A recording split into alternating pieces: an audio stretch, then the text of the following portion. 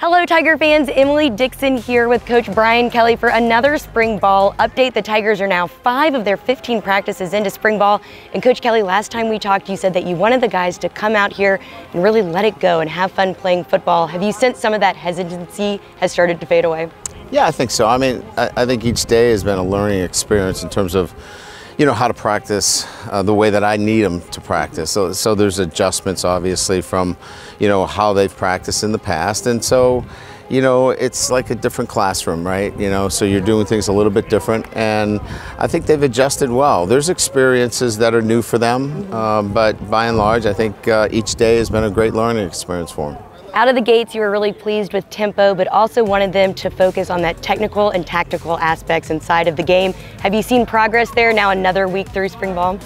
Yeah, and I, and I think in particular, uh, I think it's, a, you know, for, for our guys, it's about, you know, we try different tempos of practice. You're going to tackle sometimes, you're going to tag them off, and, and just understanding how to practice against each other. Because look, you know, we want to get better, and so you have to challenge each other um, to that end. And I, I think our guys clearly understand that you can't tackle all the time. You've got to be able to get better uh, and, and um, you know, not take somebody to the ground. And sometimes that's a learning experience. But um, I, like I said earlier, I, I really like the way that they've adapted each and every day.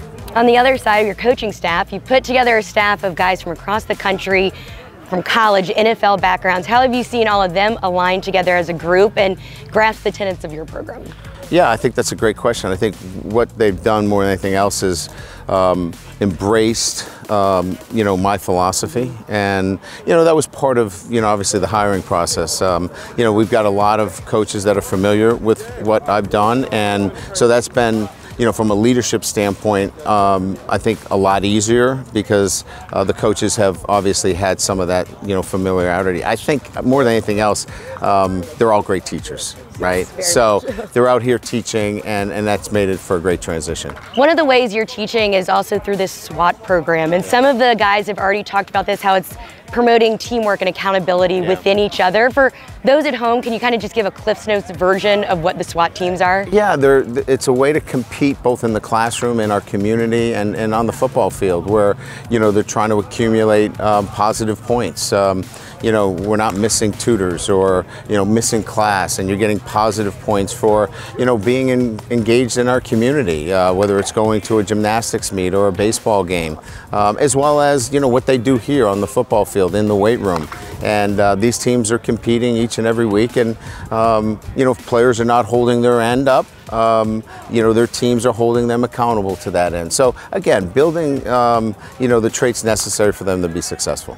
Okay, lastly, one of the most beloved former Tigers, Tyrann Mathieu, was on campus yeah. this week. He spoke with the team. He did so much stuff with our creative staff. What was your biggest takeaway with having Tyrann here and around your staff and program? Well, first of all, his love uh, for LSU and, and being a local and being from New Orleans, uh, you know, giving back. You know, um, you know he. Uh, he certainly uh, had a, uh, a journey while he was here and learned from that journey. Uh, and um, I think I think he's a great lesson for everybody that um, you know perseverance and um, his his ability now to, to take that that journey and, and help others with it. But, you know, we talked about the fundamentals of life. And anytime you can, you know, give that back to these young guys, uh, it, it was a really great story. Awesome. Thanks a lot, Coach. Thanks. Appreciate it.